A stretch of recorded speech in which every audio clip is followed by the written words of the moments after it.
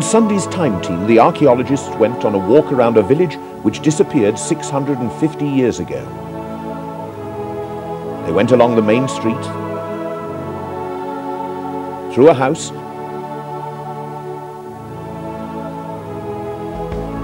and into one of the back gardens.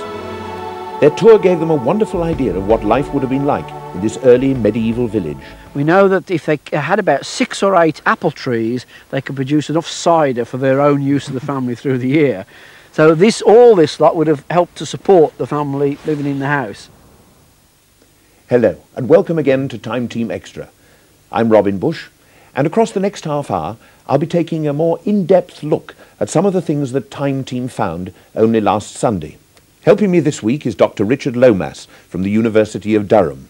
He's something of an expert on early medieval village life. He'll be helping me put a little flesh on the historical bones, as it were.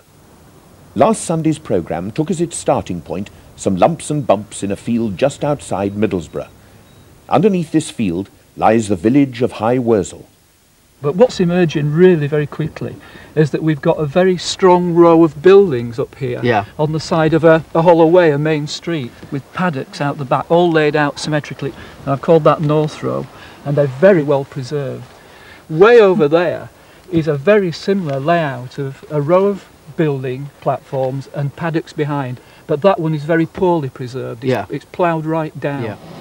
From the air, the site looks impressive. You can clearly see our Trench 1 at this end of North Row. You can see, you can pick out quite a few houses along it. Those little rectangular platforms going right out to where the grass gets more yellow. At Trench 1, we've got our first find of the day. First bit of pot. Oh yes, that's nice medieval pot. That's, medieval? Uh, that's medieval, yeah. What, uh, late, early? Dates from about the 13th century through to the 15th century. Yeah. What's interesting is that we're only getting medieval at the moment. We're Yeah, that's getting anything Well, that, that, that, that's right, isn't it? So we may not be in a building that lasts beyond the Middle Ages, which would be useful, wouldn't it? No, that's right. And there was more to come. Although Phil uncovered a mass of stones in his trench, things were not as simple as they seemed. The stones turned out to be the flooring. Down here and then going on through underneath. Can you see there's an edge coming across here? You can follow it as a crack. I'm pretty sure that this is a good possibility of being the centre of the wall and that this down here is the collapse of the wall Right. outside. Right. Are we thinking of this as, as a clay walled, cob wall building now then? Looks like we might we might be. We, we haven't found any evidence of um, on the bank over there of the sidewalls of, No. any, of any stonework. Yeah. What's, mean, we've- what's cob walling? Well, you know, a mud and straw, you know, very much like the West Country today, lay a layer down, let it dry, lay another layer down, let it dry. What they say about it is that as long as you keep its, its head and its feet dry, you know, you put some foundations in, you Yeah. put a, a cap And as long as you've got a nice dry. big eave over the top right. of it to, so that the actual base of the wall doesn't wash away in a road. All Those those are perfectly picturesque cottages in Devon, a lot of Yeah. those are built of cob. I believe that up in this part of the world, cob, although it's quite a usual material down in Somerset, where I come from, eh, is quite unusual up here. Yes, th- this was the first time I've come across an example of this. The idea of a, a, a wall made entirely of mud and straw, a cob wall, uh, I found is unique in this area. What, what would life have been like in the average village at the kind of time we're talking about? Mick was going on about the uh, keep, keeping the villagers in cider for a year. Uh, I, I think he's displaying his West Country prejudices there. I'm not sure that cider was something that was produced up in this part of the world. Not to my knowledge. We were ale drinkers in this area. Ale was brewed in every village and by at least one person. That person usually was a, was a woman, the, the alewife. Oh yes, And, come across uh, the expression. Never yeah. realised the true significance. Yes. And uh, every village had uh, its ale taster, a rather pleasant occupation of, um, uh, under also a responsible job to, to make sure that food standards were, were, were main, maintained at the high level. And in terms of amusement in the village, uh, what kind of games might they have played that you've come across references to? Well, they certainly played football, but it was the sort of um, hooligan type of football that uh, uh, I think is still survived as, as a traditional Shrove, Shrove Tuesday game in various places. But I, I did come across one particular example where uh, the uh, youth of a village um, were playing football and the thing uh, left the village and uh, finished up outside the gates of a particular manor house where the Prior of Durham happened to be in residence. Uh, and he took a great exception to this and uh, all the participants were fined. So it looks like football hooliganism has a long history to it. And do you reckon that the farming was organised in, in a commercial way? Yes, I think so, because uh, rents had to be paid, and therefore surpluses had to be generated and sold in order to raise the money to, to pay rents. And also such things as salt and iron, which simply couldn't be uh, produced locally or weren't obtainable locally, um, had to be bought. And in fact, I think it's always a, a great mistake to think of uh, the medieval farmer as somebody who is purely concerned with, with family subsistence. I think um, that they were concerned to sell things as well as to keep themselves. Uh, they had to, uh, as I say, rents and, and, and other purchases. What other outgoings would the average uh, farmer, smallholder, mm. have at that time?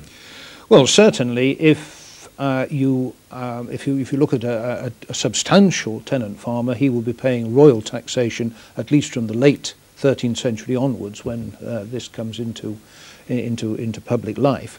Uh, he's also paying a tenth of his produce to the church in the form of tithe, and he's required to, to grind his corn at the Lord's mill and to uh, leave behind a fraction, which is known as the multure, and in the northeast of England, that fraction was rather high. It was a 13th. Uh, he is a very heavily taxed man. He certainly needed mm. his GCSE in mathematics. Oh, he did, yes. And, uh, well, it was all done by little notches in sticks, but... yes. I find it fascinating. Um, we know that these villages were laid out in a in a planned sense, and one of the one of the important things I think that I noticed at High Worsall was the way in which these these rows were established, and when we managed to chart what the plan was at High Worsall, Stuart came up with a very interesting proposition. What we're left with over here is an area that's very irregular. You see, it's all curvy different shapes and lanes, which are very different to everything else. But these are very interesting because the regular layout is wider at this end than this end. And I wonder if when this was laid out, it's because there's something already here, i.e. an earlier village than our North Row and South Row elements. This is the trench that we hoped that Mick was going to dig in what we believed to be the oldest part of the site. Yeah. And you're dead pleased that we dug it, aren't you? Oh yeah. Because it's a corker. Yeah, it's produced early pottery for this irregular area between the other rows, which seems to indicate we've got a different settlement here. That's and, fantastic. And why are you so excited about that? Well, because uh, a lot of us have spent years looking for something like this. I mean, the project I've been running down in Somerset, we've spent eight years looking for this sort of evidence. We haven't found it. Because you thought that there used to be early higgledy-piggledy settlements? Yeah, we're, we're fairly sure there's been a change in the way villages have been organised from rather irregular settlements to much more planned, carefully laid out ones. And that seems to be what we've got here. So, so Richard, who do you reckon would have planned the village, uh, either at High Worsall or indeed anywhere else? I think it has to be whoever was the lord of the manor. Yeah. It cannot have been uh, a group of independent farmers getting together and doing it. This is, in any case, they weren't independent; they were dependent people. Is is his motive economic? Is he is he trying to increase the the income that he derives from the manor by doing this? In part, I think, because it may be connected with the creation of these demesne or home farms, which certainly uh, are very much a feature of late 12th and 13th century life. And this, of course, requires uh, a high degree of organisation. And I think this may um, help to account for these uh, highly organised and highly planned villages. In your experience, when do these planned villages or village elements uh, tend to date from? Well, the ones that I'm aware of, and these are the ones that are in the in the northeast of England, um, all seem to uh, suggest the 12th century, either early or, or later part of the 12th century, but not before. In part two, we'll be taking a closer look at the role of the Lord of the Manor and indeed the manorial site.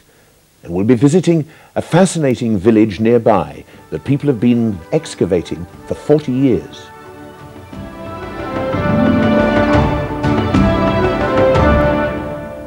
Welcome back. This week we're considering life in the medieval village of High which which disappeared from sight over 650 years ago. Time Team unearthed the village from underneath this field. Now, villages like this are known in archaeological circles as DMVs, deserted medieval villages.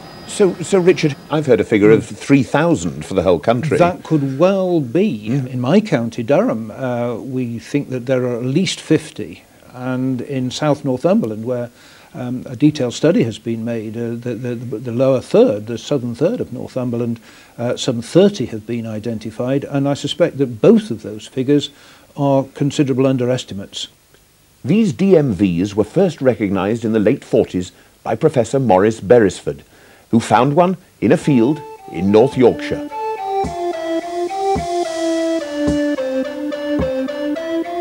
Maurice was first attracted here by this church, which stood alone but must have had a village attached. It was a good place to start.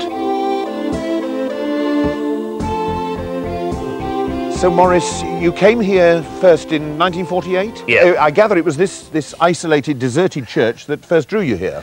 Yes, I'd just come up from the Midlands when I'd been discovering these sort of things. So when I got here, it was natural to try and find a site, and, and the church was the best, the ruined church was the, the best pointer. From where we're standing now, the oldest thing is the Norman Tower and uh, the Norman arches uh, leading through from what was the central nave uh, to the side aisles, uh, looking at what was originally inside the church, outside the church. Yes. Unravelling the church, Maurice discovered that it dated back to the 10th century. Since then, it has undergone many changes. But where was the village?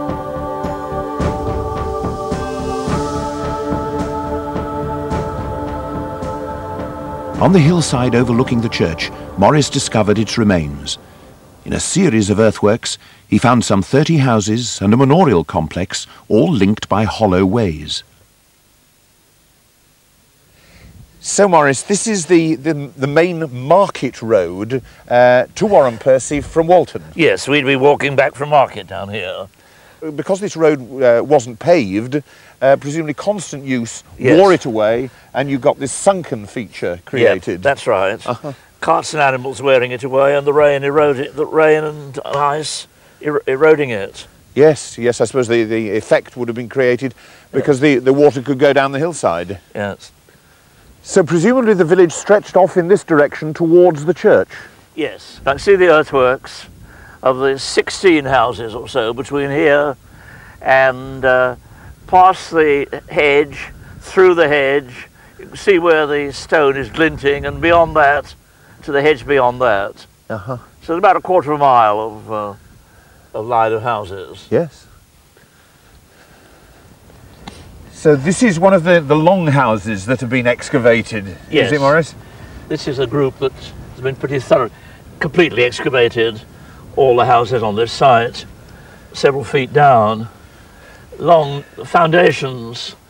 The original chalk foundations, of course, we excavated away, so we mark their position Sure. with this modern stone here. Excavation is destruction. Excavation is destruction. And we go in through the we door. We go in through where the doorway was Yes. in the stone wall, in the in the foundation wall. And this presumably was the hearth. Yes, here's the central hearth, which had masses of charcoal and uh, burnt stone Sure. on it. And then we're at the other end of the house. You had the animals at one end and the humans at the other, so we assume that we're human and we come in there. This is the human end with the hearth. Yes. And then the animals spend their lives on that side, Adding a degree to the heat. adding a degree to the heat. oh, several degrees. so this is the, the manor house complex, I gather, Maurice. yes, And, and what did it comprise? Well, a whole range of buildings. Uh, a, a, a long barn over on the, the left there, and then a, a hall, uh, a dining hall, uh, kitchens behind, and, and a number of outbuildings stretching right across here, a chain of smaller rooms.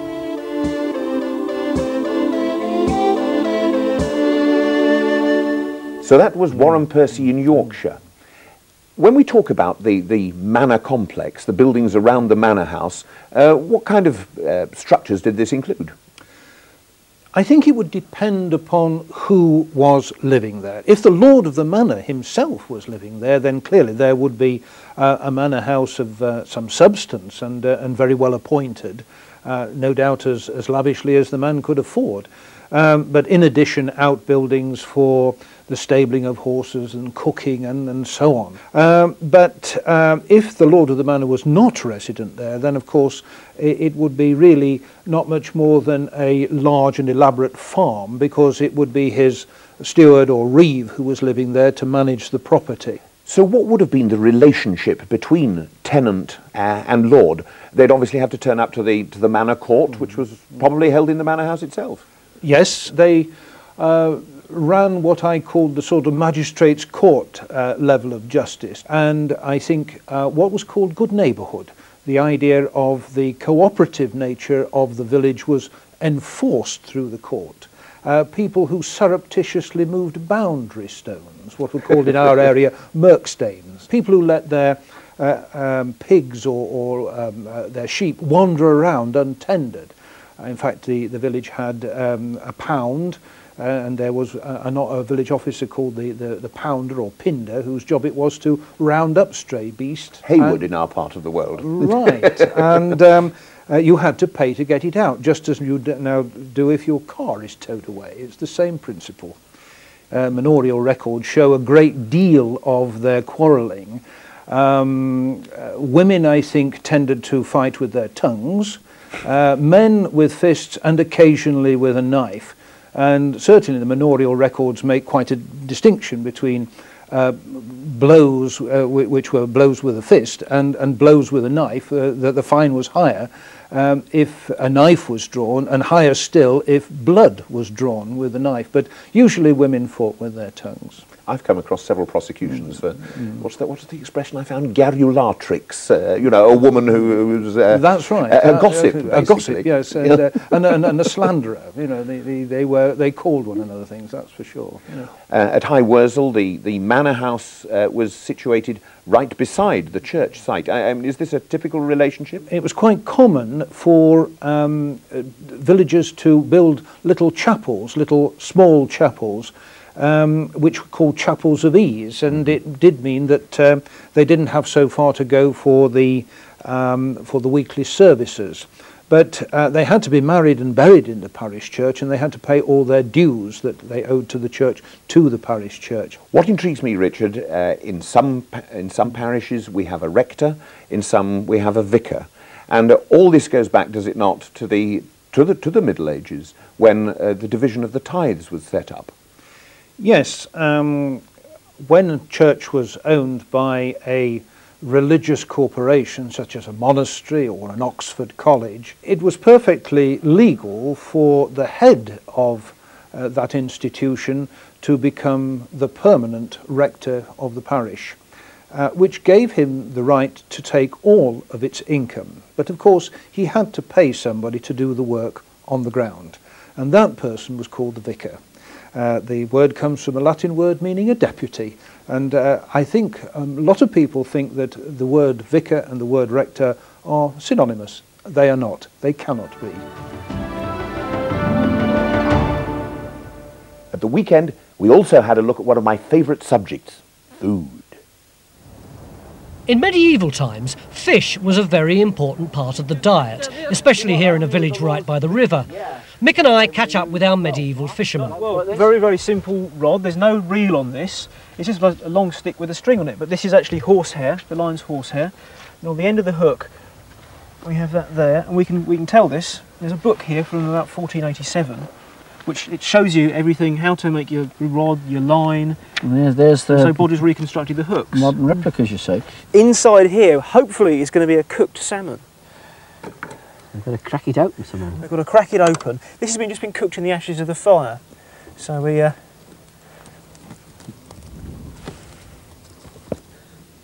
Yeah, I mean, fish fish was terribly important in the Middle Ages as part of the diet. Oh, what's this inside? Aha, there we are. There's your salmon. But this this stuff, what's this? This is stuffing. There's breadcrumbs, there's uh, onions, sultanas, Fruit by the look of it. herbs and spices. Hmm. It's quite a sort of sweet and sour stuffing, this one. Would the poorer people have had fish as well, or would they have just been the preserve of the rich? Oh no, every, everybody would have eaten fish. Salmon was incredibly common. Yeah. Everybody had salmon and probably were quite sick of it. Um, there was legislation, in fact, in the 14th and 15th century that said you couldn't feed your apprentices salmon more than three times a week. uh, a bit different from today. So, what would people's diets have consisted of in the, the 13th, 14th centuries?